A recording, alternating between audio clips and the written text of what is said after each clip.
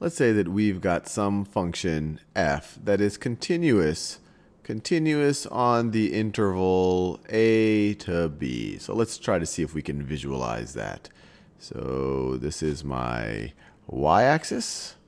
That's my y-axis. This right over here. I'm going to make it my t-axis. We'll, we'll use x a little bit later, so I'll call this my t-axis. And then let's say that this right over here is the graph of y is equal to f of t. y is equal to f of t. And we're saying it's continuous on the interval from a to b. So this is t is equal to a, this is t is equal to b, so we're saying that it is continuous. It is continuous over this whole interval. Now, for fun, let's define a function capital F of x, and I will do it in blue.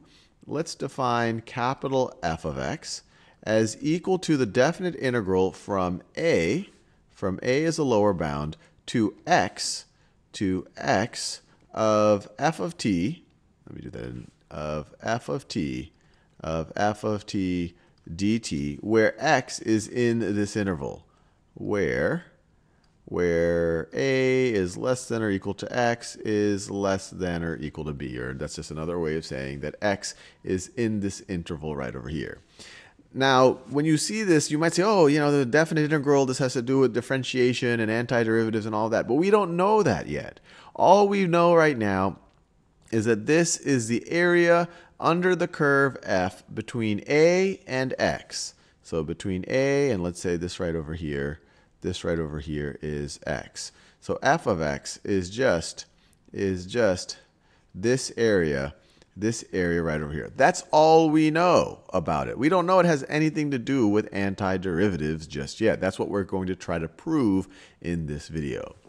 So just for fun, let's take the derivative of f. And we're going to do it just using the definition of derivatives and see what, that, what we get when we take the derivative using the definition of derivatives. So we would get, so the derivative, f prime of x, well, this definition of derivatives, it's the limit as delta x approaches 0 of capital F of x plus delta x minus f of x, all of that, all of that over delta x. This is just the definition of the derivative. Now, what is this equal to? Well, let me rewrite it using these integrals right up here. This is going to be equal to, this is going to be equal to the limit the limit as delta x approaches 0 of, what's f of x plus delta x? Well, put x in right over here. You're going to get the definite integral from a to x plus delta x of f of t dt. And then from that, you are going to subtract, you are going to subtract this business, f of x, which we've already written as the integral from a, the definite integral from a to x of f of t dt, and then all of that is over delta x. All of this is over, all of this is over delta x. Now what does this represent? Remember, we don't know anything about definite integrals as somehow dealing with something with an antiderivative and all that. We just know this. This is another way of saying the area under the curve f between a and x plus delta x. So it's the area under the curve f between a and x plus delta x. x plus delta x. So it's this entire area. It's this entire area right over here. So that's this part. We already know what this blue stuff is. This blue stuff, that same shade of blue. So this blue stuff right over here. This is equal to all of this business. We've already shaded this in. It's equal to all of this business right over here. So if you were to take all of this green area, which is from a to x plus delta x, and subtract out this blue area, which is exactly what we're doing in the numerator, what are you left with? Well, you're going to be left with, you're going to be left with, what color have I not used yet? Maybe I will use this pink color. Well, no, I already used that. I'll use this purple color. You're going to be left with this area. You're going to be left with this area right over here. So what's another way of writing that? Well, another way of writing this area right over here is the definite integral between x and x plus delta x of f of t of f of t dt.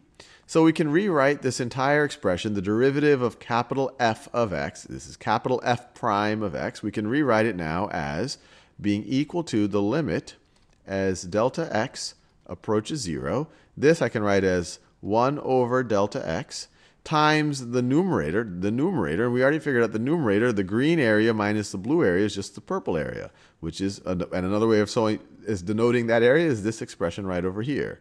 So 1 over delta x times the definite integral from x to x plus delta x of f of t, f of t dt.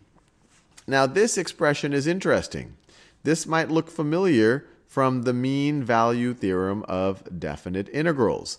The mean value theorem of definite integrals tells us, so the mean mean value theorem of definite definite integrals, definite integrals tells us there exists, there exists a c in in the interval. So I could a c where I'll write it this way, where a is less than or equal to c, which is less than, or actually let me make it clear, the interval that we now care about is between x and x plus delta x, where, where x is less than or equal to c, which is less than or equal to x plus delta x, such that, such that the function evaluated at c, the function evaluated at c, so let me draw this c.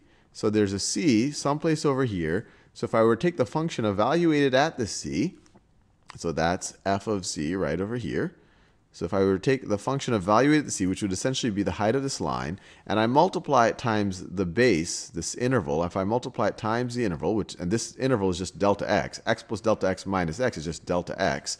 So if we just multiply the height times the base, times the base, that this is going to be equal to the area under the curve, is going to be equal to the area under the curve, which is the definite integral from x to x plus delta x, x to x plus delta x of f of t, f of t dt. This is what the mean value theorem of integrals tells us. If f is a continuous function, there exists a c in this interval between our two endpoints, between our two endpoints, where the function evaluated at the c is essentially, you can view it as the mean height. And if you take that mean value of the function and you multiply it times the base, you're going to get the area of the curve. Or another way of rewriting this, you could say that f of c, there exists a c in that interval where f of c is equal to 1 over delta x, I'm just dividing both sides by delta x, times the definite integral from x to x plus delta x of f of t dt. And this is often viewed as the mean value of the function over the interval. Why is that? Well, this part right over here, this part right over here gives you the area, and then you divide the area by the base, and you get the mean height. Or another way you could say it is, if you were to take the height right over here, multiply it times the base, you get a rectangle that has the exact same area as the area under the curve. Well, this is useful because this is exactly what we got as the derivative of f prime of x. So there must exist a c such that such that f of c is equal to this stuff, or we could say that the limit, and let me rewrite all of this down in new color. So there exists there exists a c in the interval x to x plus delta x where where f prime of x, which we know is equal to this, is, we can now say is now equal to the limit as delta x approaches 0. And instead of writing this, we know that there's some c that's equal to all of this business of f of c. Now we're in the home stretch. We just have to figure out what the limit as delta x approaches 0 of f of c is. And the main realization is this part right over here. We know that c is always sandwiched in between x and x plus delta x. And intuitively, you could tell that, look, as delta x approaches 0, as delta x, as this green line, as this green line right over here moves more and more to the left, as it approaches this, as it approaches this blue line, as it approaches this blue line, the c has to be in between, and so the c is going to approach x. So we know intuitively we know intuitively that c approaches x as delta x, delta x approaches 0, Or another way of saying it is that f of c is going to approach f of x as delta x, as delta x approaches 0. And so intuitively, we could say that this is going to be equal to f of this is going to be equal to f of x. Now you might say, okay, that's intuitively, but we're kind of working on a little bit of a proof here, Sal. Tell me, let, let me know for sure that x is going to approach c. Don't just do this little thing where you, you drew this diagram and it, it makes sense that c is going to have to get closer and closer to x. And if you want that, you could just resort to the squeeze theorem. And to resort to the squeeze theorem, you just have to view c as a function of delta x, and it really is. Depending on your delta x, c is going to be further to the left or to the right, possibly. And so I can just rewrite this expression as x is less than or equal to c as a function of delta x, which is less than or equal to x plus delta x. So now you see that c is always sandwiched between x and x plus delta x. Well, what's the limit of x as delta x? Approaches 0. Well, x isn't dependent on delta x in any way, so this is just going to be equal to x. What's the limit of x plus delta x as delta x approaches 0? Well, as delta x approaches 0, this is just going to be equal to x. So if this approaches x as delta x approaches 0, and it's less than this function, and if this approaches x as delta x approaches 0, and it's always greater than this, then we know from the squeeze theorem or the sandwich theorem that the limit as delta x approaches 0 of c as a function of delta x is going to be equal to is going to be equal to x as well. It has to approach the same thing that that and that is. It's sandwiched in between. And so that's a slight, we, we resort to the sandwich theorem. It's a little bit more rigorous to get to this exact result. As delta x approaches 0, c approaches x. If c is approaching x, then f of c is going to approach f of x. And then we essentially have our proof. f is a continuous function. We defined f in this way, capital F in this way, and we were able to use just the definition of the derivative to figure out that the derivative of capital F of x is equal to is equal to is equal to f of x. And once again, why is this a big deal? Well, it tells you that if you have any continuous function f, and that's what we assumed, we assumed that f is continuous over the interval, there exists some function, there exists a function, you can just define the function this way as the area under the curve between, between some endpoint or the, the beginning of the interval and some x. If you define a function in that way, the derivative of this function is going to be equal to your continuous function. Or another way of saying it is that you always have an antiderivative, that any continuous function has an antiderivative. And so it's a couple of cool things. Any continuous function has an antiderivative. It's, it's going to be that capital it's going to be that capital F of x. And this is why it's called the fundamental theorem of calculus.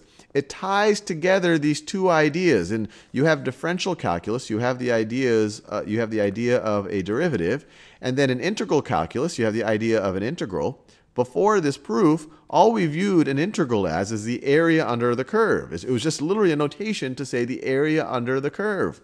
But now we've been able to make a connection, that there's a connection between the integral and the derivative, or a connection between the integral and the antiderivative in particular. So it connects all of calculus together in a very, very, very powerful. And and we're, we're so used to it now, and, and and now we can say almost a somewhat obvious way, but it wasn't obvious. Remember, we always think of integrals as somehow doing an antiderivative, but it wasn't clear. If you just viewed an integral as only an area, you would have to go through this process, say, wow, no, it's connected. It's connected to the process of taking a derivative.